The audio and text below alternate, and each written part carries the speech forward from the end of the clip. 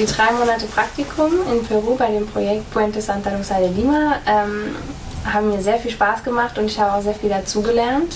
Ähm, für mein Leben, auch weil ähm, ich möchte Lehrerin werden und dadurch, dass ich den Kindern dort Einzelunterricht in Englisch und in Deutsch gegeben habe, hat es mir sehr viel weitergebracht und das ist ganz anders als hier in Deutschland. Die Kinder, die nehmen einem richtig herzlich auf, egal ob sie einen kennen oder nicht, die begrüßen einen immer mit einer Umarmung und einem Küsschen und die freuen sich einen zu sehen und die haben eine richtige positive Lebenseinstellung, auch wenn es denen nicht so gut geht, wenn sie kein Geld haben und ähm, das steckt einen noch einfach an. Also dann wird man selbst auch fröhlich und hat dann mehr Spaß am Leben.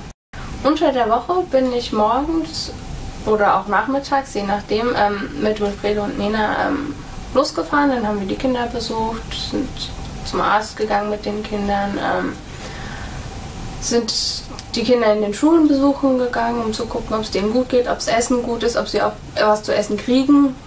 Also ich habe vor allen Dingen gelernt, das Leben ein bisschen gelassener zu sehen, ähm, mehr für meine Ziele zu arbeiten, weil die Kinder, die müssen für ihre Zukunft wirklich viel machen, weil es ist dort drüben wirklich schwer, einen guten Job zum Beispiel zu kriegen.